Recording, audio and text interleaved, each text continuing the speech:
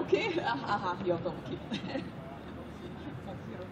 ah, ja, ich spreche über wahre Friedensnobelpreisträger, weil ich bin die Karin und, und habe auch in den Medien und auch im Internet kursiert so herum, dass Barack Obama, Friedensnobelpreisträger und Empfänger 2009, den Preis zurückgeben soll und auch die Europäische Union, die haben den Preis bekommen 2012 und ist natürlich auch berechtigt, weil nur der ihn für den Frieden investiert, ist für diesen Preis befähigt, ihn auch behalten zu dürfen.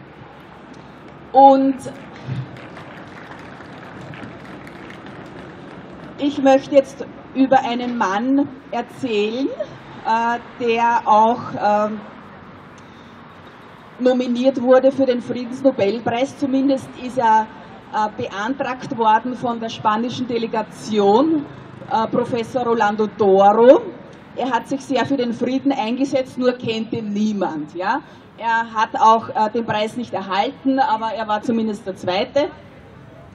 Und äh, der Professor Rolando Toro ist in Chile aufgewachsen äh, er ist 1925 geboren und hat natürlich äh, die Militärdiktatur in Chile live miterlebt unter Pinochet und äh, hat, es war an der Tagesordnung Diskriminierung, Festnahmen, ähm, Folter, Unterdrückung und er ist auch freiwillig aus dem Land geflüchtet nach Argentinien, Brasilien und nach Italien und weil er wurde sowieso als verrückt erklärt, ja. Und die Verrückten lässt man leichter ziehen. Und er hat nämlich eine zentrale Frage gehabt für sich.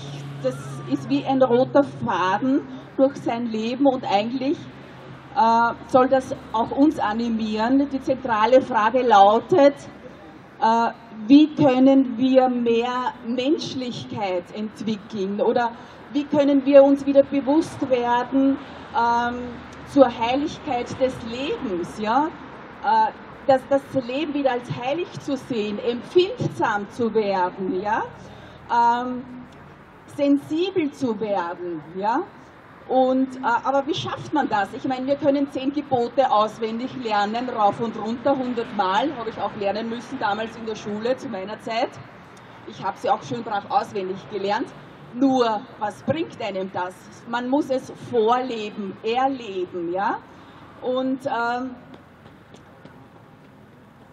äh, er hat eben ein System entwickelt, ähm, eine eigene Methode dafür. Er war nämlich Anthropologe, Psychologe und Künstler.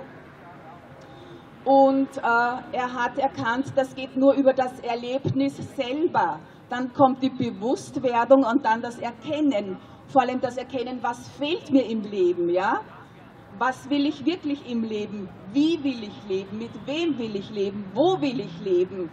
Ähm, was macht mich glücklich? Wie empfinde ich Glückseligkeit? Wie, wie, wie komme ich dorthin? Und da sollte sich jeder stellen, diese zentrale Frage. So nebenbei erwähnt, also er hat eben die Methode Biodanzer entwickelt, ja, ich bin auch Biodanzer-Trainerin.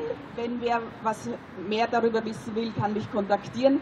Aber ich stehe dafür, dass eben ähm, er das zum zentralen Thema gemacht hat und sich jeder die Frage stellen sollte und jeder kann dazu beitragen.